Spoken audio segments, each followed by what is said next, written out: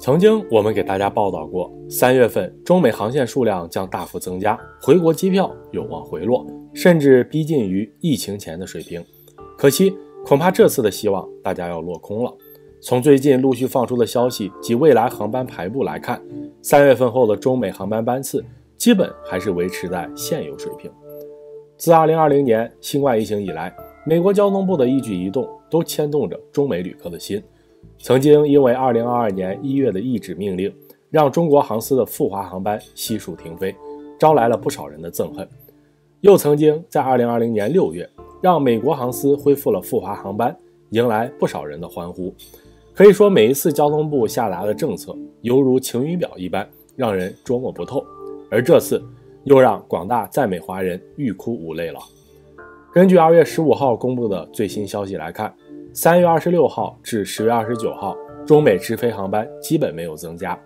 早在二零二三年一月初，东航、厦航、川航、南航、海航、国航都申请了复航或者新增多条中美航线，从而进一步满足在美华人回国的需求。然而万事俱备，只欠美国交通部的一个绿灯时，却没想到吃上了闭门羹。所有航司的请求可以说是毫无回响，没有批准任何一条。而说起没有批准的原因，也挺让人无奈。据小道消息透露，没给中国航司开放航线的原因，竟是美国航空公司并没有太高的意愿增航。大概是因为美国本土市场已经赚够了，还有也可能是因为航空公司缺人，在疫情期间裁员以及退休的人员，可能还没有被新进人员填充进来。所以，美国交通部遵照国际惯例，也就是对等原则，暂时没有理会中国航空公司的增航要求。面对美国交通部这次合理但又无脑的拒绝，广大华人的回国路又开始犯难了。一边是捉襟见肘的航班次数，一边又是囊中羞涩的存款数目，恐怕很多人回国的计划又要无限期的推迟了。不过，许多已经计划好或者不得不赴华的游客，依旧还是要在有限的航班数中找到最高性价比的选择。那对此有哪些值得大家关注的航司与航线呢？我们接下来看一看。首先，我们先来看一下目前中美直飞航班的信息汇总。根据美国交通部的批复，在三月二十四号后会大概率依照此计划执行。首先是中国国航北京往返洛杉矶的航班 CA 九八七、CA 九八八每周一班；深圳往返洛杉矶的航班 CA 七六九与 CA 七七零每周一班；东方航空上海浦东机场往返纽约 JFK 机场的 MU 五八七与 MU 五八八每周两班。南方航空广州往返洛杉矶的航班 CZ 三二七与 CZ 三二八每周一班，广州往返纽约的 CZ 三二七与 CZ 三二八每周一班。接下来是厦门航空，厦门往返洛杉矶的 MF 八二九与 MF 八三零每周两班。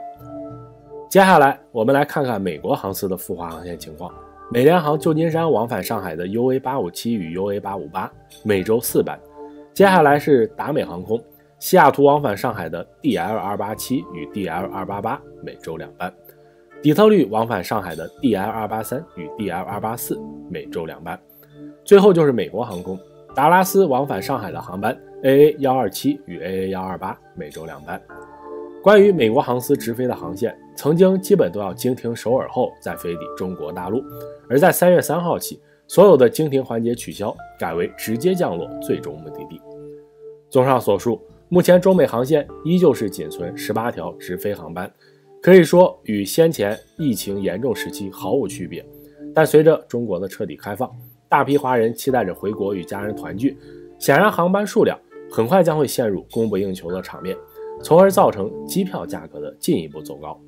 那如果在行程上相对宽松的旅客，大家可以考虑转机来降低回国的开销，比如先落地亚洲其他国家。如新加坡、日本、韩国等，再转而飞抵中国大陆。